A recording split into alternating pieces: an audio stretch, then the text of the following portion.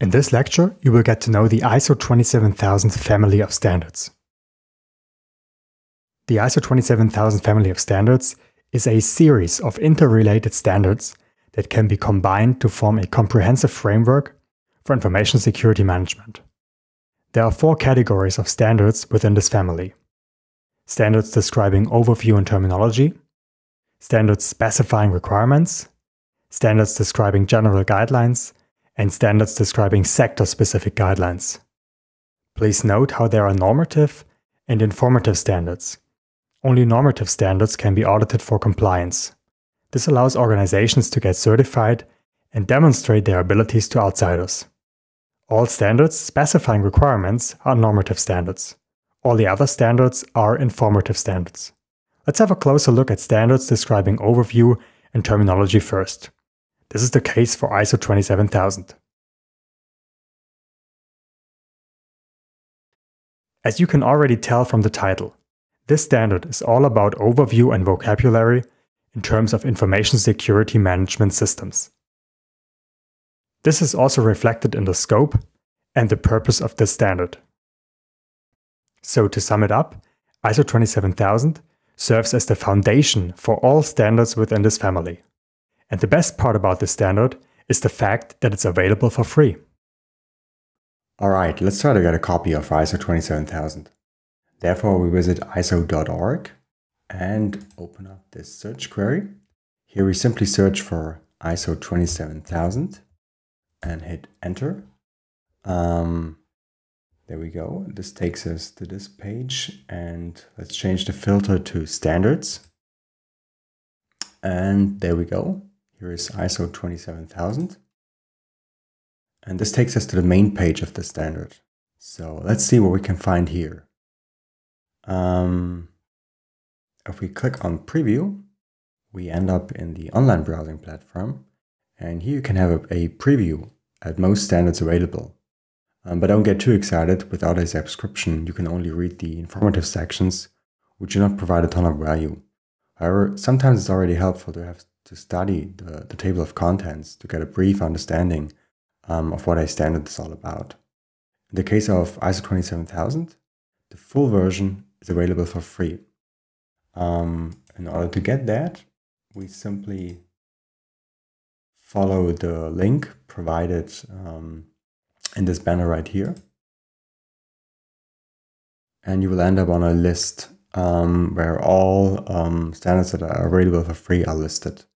Um, let's try to search for ISO 27000. Just hit Control F, for example, hit Enter, and here we go. This is um, ISO 27000. Um, due to copyright protection, I cannot show you the actual content of the standard, so you gotta have a look by yourself. Alright, let's now focus on standards specifying requirements.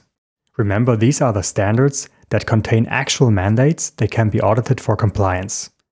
They are usually referred to as normative standards, which means organizations can get certified by external certification bodies in order to demonstrate compliance to outsiders. At the moment, there are four standards containing requirements.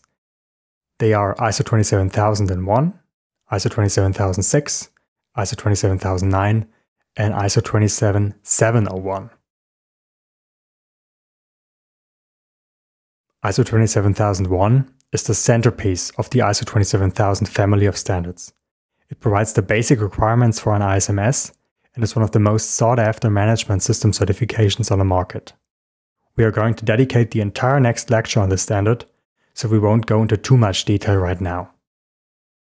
For now, just be aware that this document specifies the requirements for establishing, implementing, operating, monitoring, reviewing, maintaining, and improving a formalized ISMS.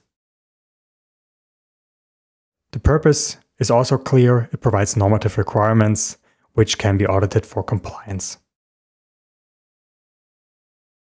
ISO 27006 specifies requirements for bodies providing ISO 27001 audits and certifications, which is not really relevant for this course. ISO 27009 defines requirements for sector specific controls as addition to the base controls in ISO 27001. this is also not within the scope of this course. Just recently, ISO 27701 was released, and this standard contains requirements and guidelines on how to extend an ISMS to a privacy information management system. This should also not bother you, but it's good to know about these standards. As you can see, there is a ton of standards describing general and sector specific guidelines. This slide only shows a small selection of these standards. Um, these standards provide guidance for all sorts of aspects within the context of implementing, establishing, and running an ISMS. The ISO 27000 family of standards consists of around 100 different standards. Attached to this lecture, you can find a comprehensive list of the ISO 27000 family of standards. The list comes in a PDF form and it provides you with a comprehensive list of all the standards within the ISO 27000 family of standards.